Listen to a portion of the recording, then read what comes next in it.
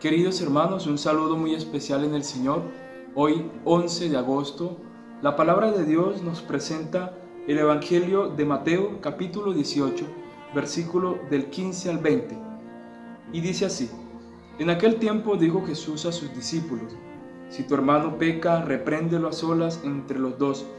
Si te hace caso, has salvado a tu hermano.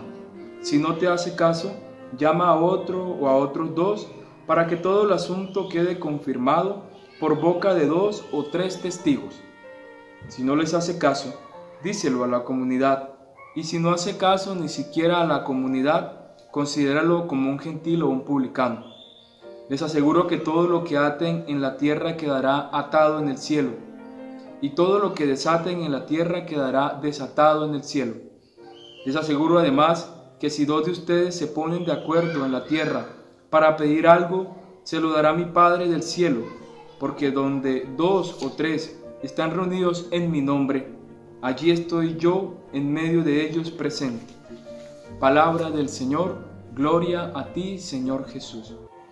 Hoy la palabra del Señor nos trae un tema a reflexionar y un tema a reflexionar en medio de nuestros grupos eclesiales, de nuestra familia y de nuestros grupos sociales, como es el tema de la corrección fraterna Hermanos, la corrección fraterna no es fácil en una comunidad cristiana, porque las comunidades cristianas no son perfectas. Coexisten entre las comunidades cristianas el bien y el mal. Entonces nace la pregunta, ¿cómo hemos de comportarnos con el hermano que falla?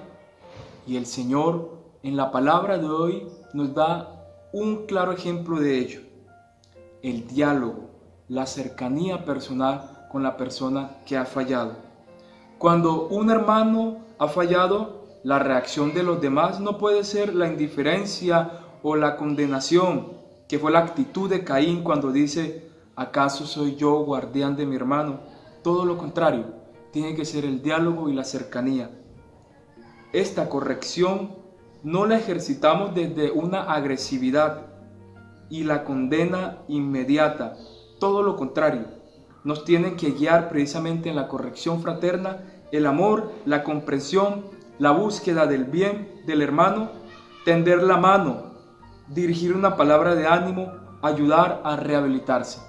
Pidámosle al Señor que nos conceda eso, que nos conceda tener la palabra adecuada y el diálogo adecuado para la persona que ha fallado en algún momento. Que el Señor nos bendiga, nos conceda siempre la gracia de saber corregir al hermano, de saber dirigir una palabra de ánimo y de ayuda a aquella persona que ha fallado y que entre todos construyamos con una comunidad de amor en el Señor. Amén.